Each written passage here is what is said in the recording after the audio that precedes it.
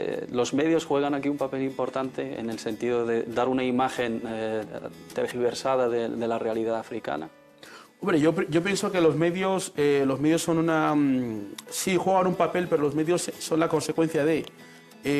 antes habéis tenido aquí a un académico riguroso que ha hablado de una forma muy, muy clara y muy importante, em, pero la construcción de los medios de comunicación, la construcción social parte de una lógica académica que es em, el eurocentrismo que la academia fabrica.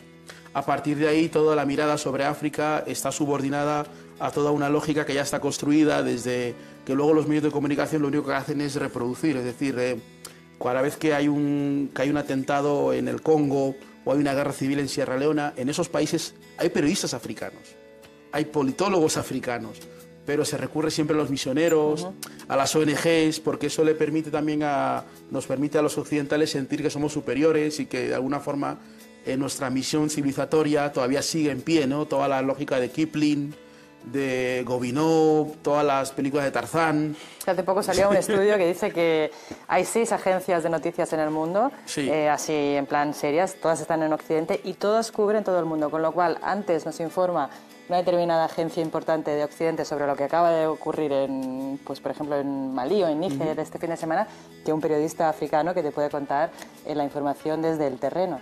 Eh, claro, eso, eh, eso tiene que ver también, por ejemplo, en el caso español. España es un país que está a 17 kilómetros de África, pero es imposible encontrar noticias africanas en la prensa española. Los telediarios eh, dedican, creo que es el, el 27% de su tiempo al año a hablar de Oriente Medio, de Palestina y de Israel, y de África el 2%, todo un continente de más de mil millones de personas.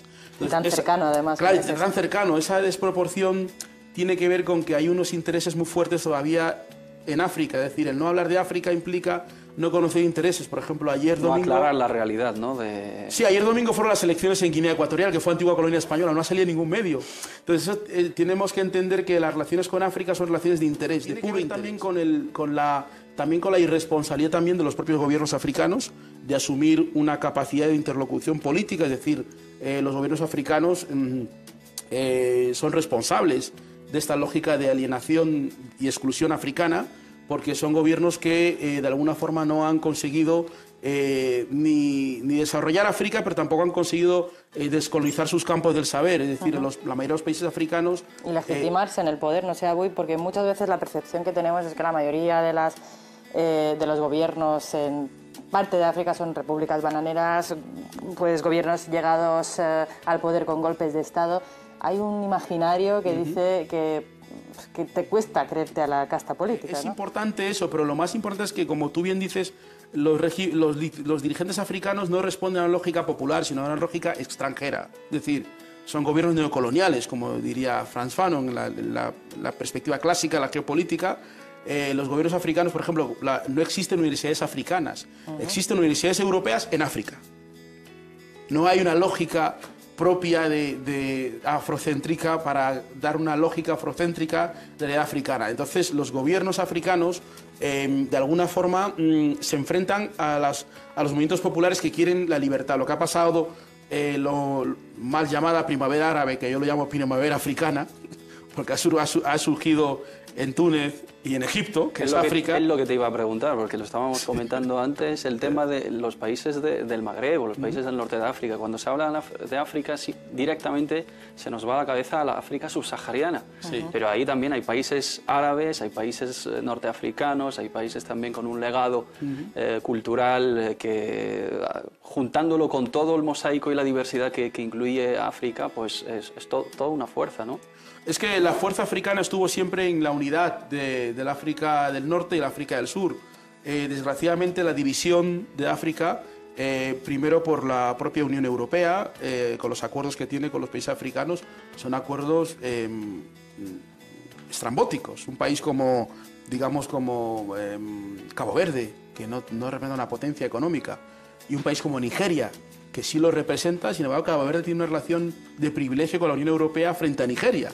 Entonces, son, esa fragmentación luego va al norte de África, lo que han llamado, lo que se han inventado los geopolíticos eh, europeos, el Magreb.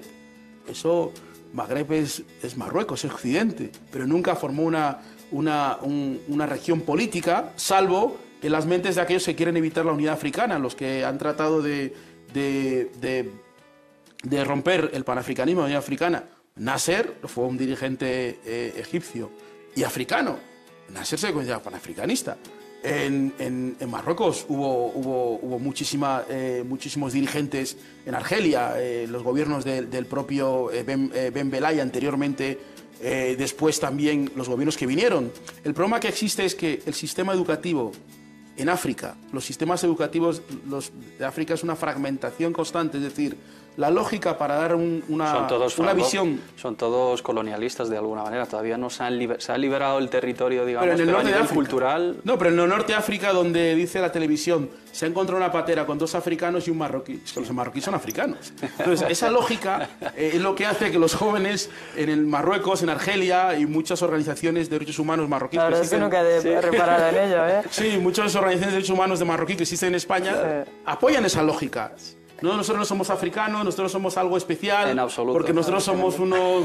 Porque Hassan no sé qué. Bueno, una, una lógica que eh, en el fondo lo que hace es dividir África. La creación por parte de Francia del llamado Euro-Mediterráneo. Se habla también de los bereberes, entonces esa fragmentación es interna y externa. Sí, pero que lo diga una asociación de derechos humanos, clama al cielo. Se supone que la, ah, vanguardia del derecho viene de la propia sociedad civil. No podemos exigirle a los gobiernos que hagan cosas, pero la sociedad, la sociedad civil africana del norte y del sur tiene que estar claro en algunas cosas y desgraciadamente eh, los, los, últimos tiempos pues ha habido mucha, mm, muchas lecturas exóticas, así las llamo yo, sobre nuestra historia común. Y es una historia común de muchos siglos y muchos años.